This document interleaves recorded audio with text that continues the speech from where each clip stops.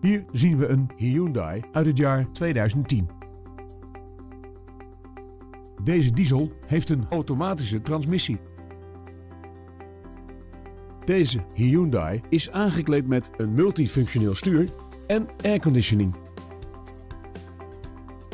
Deze auto is uitgerust met tal van veiligheidsvoorzieningen, zoals actieve hoofdsteunen, elektronische remkrachtverdeling en mislampen voor.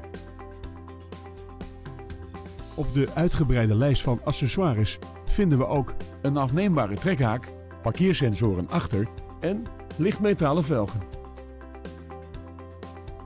Hebt u interesse in deze auto? Neem nu contact met ons op en we zetten hem klaar voor een proefrit.